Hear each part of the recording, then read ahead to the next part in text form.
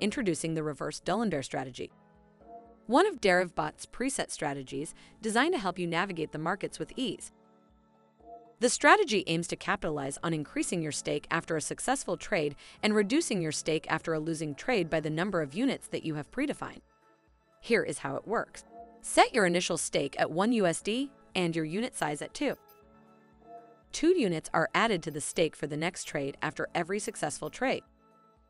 Meanwhile, two units are removed from the stake for the next trade after every losing trade. This is indicated here where two units are removed from the stake for the next trade if it results in loss. If, however, the stake is already 1 USD, the next stake will not be less than your initial stake of 1 USD. The strategy will trade at a minimum of 1 USD. The idea behind the reverse D'Alembert strategy is that after a successful trade, you may be on track for an upward trend, therefore, you can consider increasing your stake to capitalize on gains. Conversely, after a trade resulting in loss, you decrease your stake to minimize losses during a potential negative trend.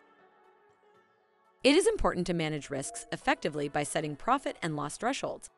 For example, if you set a profit threshold at 100 USD and a strategy exceeds 100 USD in profit from all trades, the bot will stop running.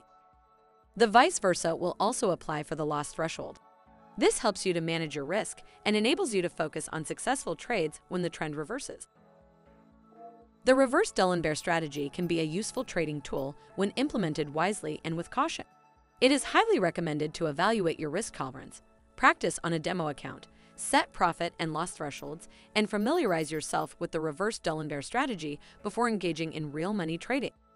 More information on preset strategies can be found in the Tutorials tab.